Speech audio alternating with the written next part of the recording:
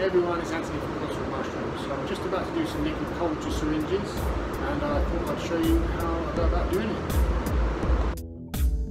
Okay, so we're starting off by removing the liquid culture from the stir plate, which has been there for a while, to really break up the mycelium. Cleanliness is next to godliness, especially when it comes to mycology, so making sure all the surfaces are wiped down with alcohol and all the kit is sprayed and wiped down as well. So I'm spraying down some syringes, one needle and some Luer locks for each syringe as well. All equipment has come from Mycopunks. full disclosure, I work for Mycopunks. But if you do need any cultivation supplies then uh, yeah, check it out.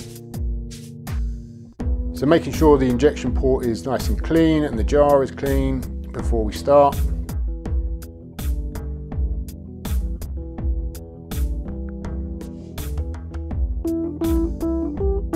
Go. Right, so I'm opening up one of the syringe packs and I'm opening it up the needle end. Just enough so that I can get the needle in there.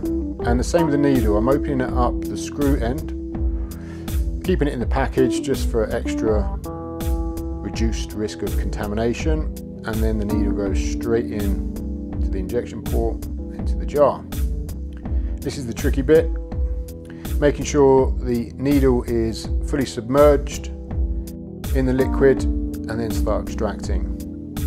If it's not in the liquid then you're, you're going to start um, extracting air, which obviously you don't want. I'm just going to loosen off the needle slightly and you'll see why. So I take the Luer lock and I'll show you a clo close up of this in a second and I open the Luer lock on the screw end.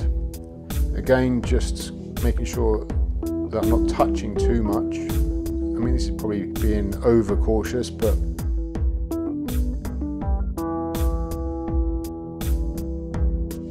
so the next syringe is ready to go.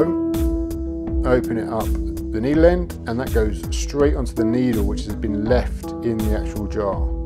And again this is just to reduce the risk of contamination so if you're continually putting new needles in into the injection port into the jar, then uh, obviously the risk of contamination goes up. So this is quite a neat way of reducing any uh, overuse of needles. So here's a close-up of the actual Luer lock and how it goes on. And there you go, some liquid culture syringes. Hope it's helpful.